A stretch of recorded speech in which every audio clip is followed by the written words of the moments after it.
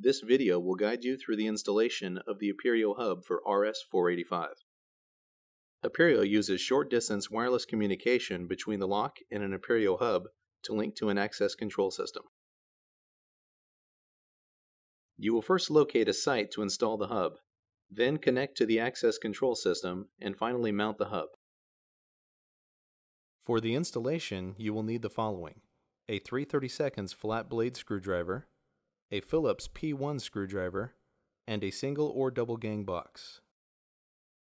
First, you will need to locate where you want to install the hub. You can install the hub on a wall, on the ceiling, above the ceiling, or in an adjacent room. Note that the hub is not rated for plenum ceilings.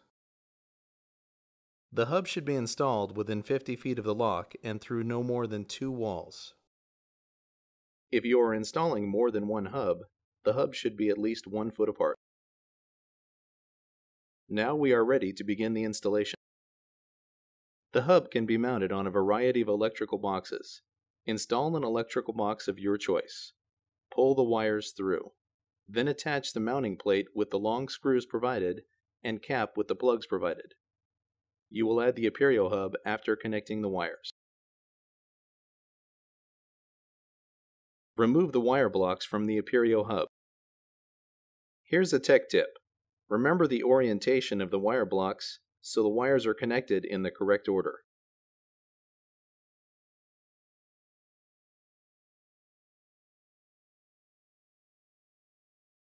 On the wire block at J100, connect the RS485 wires, data A, data B, ground, and 8 to 24 volts DC.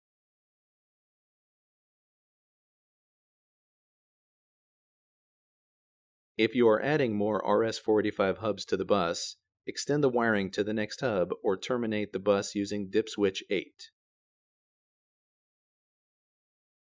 Verify that dip switches are set correctly for hub addressing and termination. Dip switches 1 through 5 set the device address on the bus. Dip switch 8 is used to terminate the bus. Refer to your access control installation guidelines. When you are finished, the RS485 hub will look like this. Wire colors may vary. Secure the hub to the mounting plate with the two short screws provided.